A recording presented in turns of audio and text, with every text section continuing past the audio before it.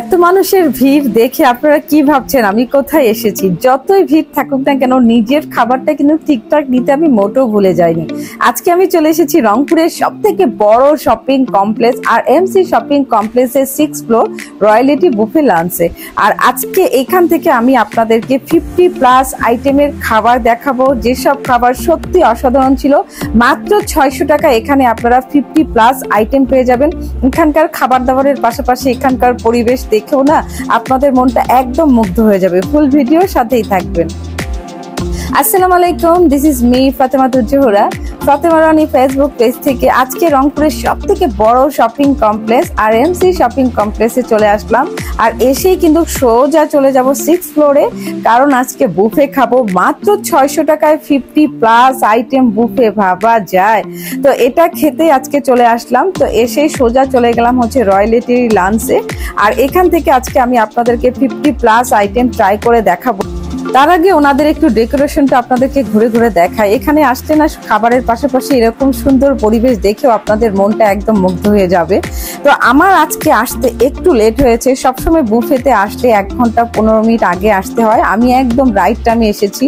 আর এসেই প্লেট ধরে বসে পড়লাম যে খাবারগুলো তো দ্রুত নিতে হবে। আসলে এরকম কিছুই না। তাড়াহুড়ার করার কিছুই নেই। কারণ হচ্ছে পুরো তিন ঘণ্টা বুফে চলবে। সন্ধ্যা সাতটা থেকে রাত নয়টা পর্যন্ত। আর যতক্ষণ পর্যন্ত লোকজন থাকবে টাইম শেষ হবে না।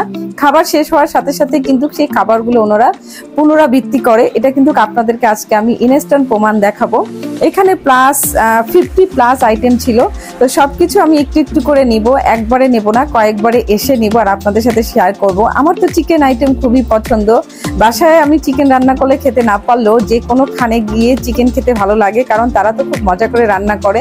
আর এনাদের এখানে, এর আগেও আমি এসেছিলাম, আপনারা অনেক অনেক রিকোয়েস্ট করছেন। যেই ভিডিওটা আমার করা ছিল, সেটা গত বছরের, আমি যেন এই বছর একটা ভিডিও আপনাদের সামনে উপহার দিই। তো ফাইনালি আজকে চলেও আসলাম। আর এখানে এসে এত এত খাবার দেখে, কোনটা রেখে, কোনটা খাব এই জন্য তো আমি একদম হতাশ। তো আপনারা এখানে মাত্র ছয়শো টাকায় পঞ্চাশ প্লাস আইটেম খেতে পারবেন। পঞ্চাশ প্লাস আইটেম কিন্তু মুখের কথা না, একসাথে এত খাবার খাওয়াটাও কিন্তু মুশকিল। তবে টাইম কিন্তু অনেক পাচ্ছেন, তিন ঘণ্টা। এখানকার সিস্টেমটা হচ্ছে, আপনারা যদি এখানে জিরো থেকে পাঁচ বছরের বাচ্চাদেরকে নিয়ে আসেন, তাহলে একদমই ফ্রি পাঁচ বছর থেকে আট বছরের বাচ্চাদের জন্য অর্ধেক পেমেন্ট করতে হবে মানে হচ্ছে তিনশো টাকা। আর বাকি সব অ্যাডাল্ট পার্সনের জন্য ছয়শো টাকা করে। ছয়শো টাকার মধ্যে ফিফটি প্লাস আইটেম ট্রাই করা এটা বিশাল ব্যাপার। এইরকম একটা বুফে যদি প্রতিদিন হতো, তাহলে তো আমি প্রতিদিনে যে চলে যেতাম। তো যাই হোক, এরকম একটা ভিডিও আমার গত বছরের করা আছে। আপনারা অনেকেই রিকোয়েস্ট করাতে আমি এই বছরও এই ভিডিওটা করলাম। আর আমার ভিডিও দেখে যে রংপুরের বিভিন্ন জায়গা, উত্তরবঙ্গের বিভিন্ন জায়গা থেকে আপনারা আসেন, সেটা কিন্তু সেদিন সেখানে গিয়ে প্রমাণ হয়েছে। অনেকের সাথে দেখা হয়েছে।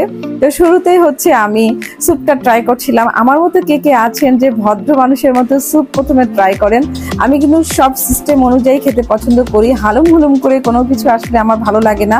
আর করার কোনো কারণে নেই। কারণ হচ্ছে এখানে তিন ঘণ্টা বুফে চলবে। ধীরে ভাবে খেলেই হয়। কারণ ওনারা খাবার শেষ হওয়ার সাথে সাথে কিন্তু খাবারটা আবার পুনরাবৃত্তি করে। আজকে আমি আপনাদেরকে সেটাই প্রমাণ দেখাবো। থাই স্যুপটা আমার খুবই মজা লেগেছিল। আমি এরপরেও কিন্তু আবারও থাই স্যুপ ট্রাই করব। থাই স্যুপ ট্রাই করার পরে আমি হচ্ছে রাইস আইটেম ট্রাই করছিলাম। প্রায় প্রায় হচ্ছে সেখানে পাঁচ রকমের রাইস আইটেম ছিল। মাটন বিরিয়ানি ছিল ফ্রাইড রাইস ছিল প্লেন রাইস ছিল, পোলাও ছিল চিকেন ছিল মানে সব কিছু অ্যাভেলেবেল ছিল। এরপরে আমি আবারও চলে গেলাম খাবার নেওয়ার জন্য, আর ভিড়টা জাস্ট দেখুন। সবাই নিচ্ছিল, সবাই মজা করে খাচ্ছিল। বুফে আসলে না, এই জিনিসটা আমার খুবই ভালো লাগে। সবাই একসাথে এভাবে খাওয়াটা। প্রথমে আমি একটা ড্রিঙ্কস নিয়েছিলাম, এরপরে পাপায়া জুসটা নিলাম। তো পাপায়া জুস তো শরীরের জন্য খুবই ভালো, যদিও বা আমার খুব একটা ভালো লাগে না। এখন কিছু মিষ্টি আইটেম নিলাম, এরপরে কিছু ঝাল আইটেমও নিব। একসাথে নিতে পারছিলাম না, বলে আমি আবারও বসে পড়লাম যে আর একটু খেয়ে নিই, তারপরে আবার গিয়ে নিয়ে আসব। এর ফাঁকে হচ্ছে গরুর মাংস চলে এসেছে। এখন কিন্তু আপনারা এখানে আড়াইশো গ্রাম করে ফিক্সড গরুর মাংস সবার জন্য পাচ্ছেন। এর আগে আনলিমিটেড গরুর মাংস ছিল, তখন দেখা গিয়েছিল যে অনেকে অনেক বেশি করে নিত, তবে খেতে পারতো না। আপনাদের রিকোয়েস্টে এখন পরিমাণ মতো দেওয়া হচ্ছে। আপনারা অনেকেও এই পরিমাণ মাংসটাও খেতে পারেন না। আসলে পরিমাণ মতো দেওয়াটাই বেটার মনে হয় কারণ এত পরিমাণ মানুষ নষ্ট করে, এটা আসলে ঠিক না। এই কাজটা কখনো করবেন না খাবার অপচয় করবেন না।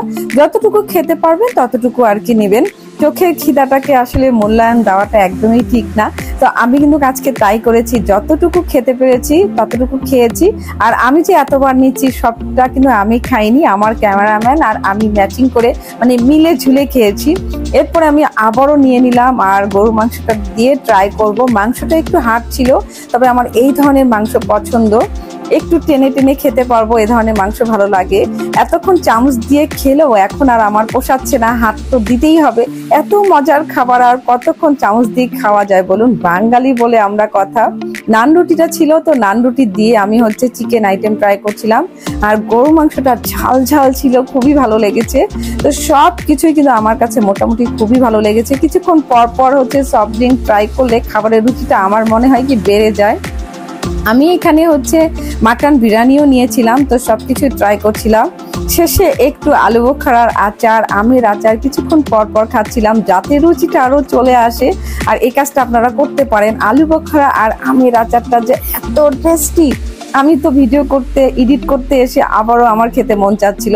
আমি অনেকগুলো খেয়েছি একসাথে। এরপর এই যে দেখুন, কিছুক্ষণ পর পর যে খাবার শেষ হচ্ছে আর ওনারা দিয়ে যাচ্ছে, সেটার প্রমাণ আপনাদেরকে দিয়ে দিলাম। তাই আপনারা যখন বুফেতে যাবেন, তখন কোনো তাড়াহুড়ো করবেন না। তিন ঘণ্টা কিন্তু অনেক সময়।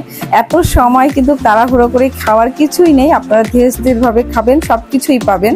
সবশেষে কিন্তু রেড ভেলভেট কেক আর ভ্যানিলা কেকটা আছে। তো আমি হচ্ছে সেটাও দেখাচ্ছিলাম। ভাবলাম কেক দেওয়ার আগে আরেকবার স্যুপ ট্রাই করি। এই যে বললাম, স্যুপটা আমার কাছে খুবই ভালো লেগেছে।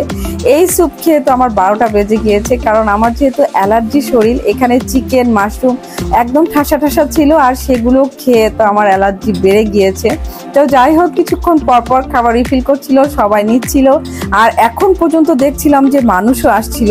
তো এখানে একসাথে একশো বিশ জন বসতে পারবে। অনেকে ছিল আজকে, অনেকের সাথে দেখা হয়েছিল। খুবই ভালো লেগেছে, তো সবাইকে অসংখ্য অসংখ্য ধন্যবাদ। আমাকে দেখে সবাই ছবি তুলেছে, কথা বলেছে। রেড ভেলভেট কেকটা যে এত মজার, এটা আমার জানা ছিল। তবে আবারও নতুন করে কেন জানি আরও ভালো লাগছিল। এত ভালো লেগেছে যে আমি চামচটাও পর্যন্ত চেটে পুটে খাচ্ছিলাম। দুইটা কেক, দুইটা আইটেমের কেকই অনেক মজা ছিল, তবে রেড ভেলভেটটা বেশি মজা ছিল। আপনাদের কাছে কোনটা ভালো লাগবে এটা একটু জানাবেন।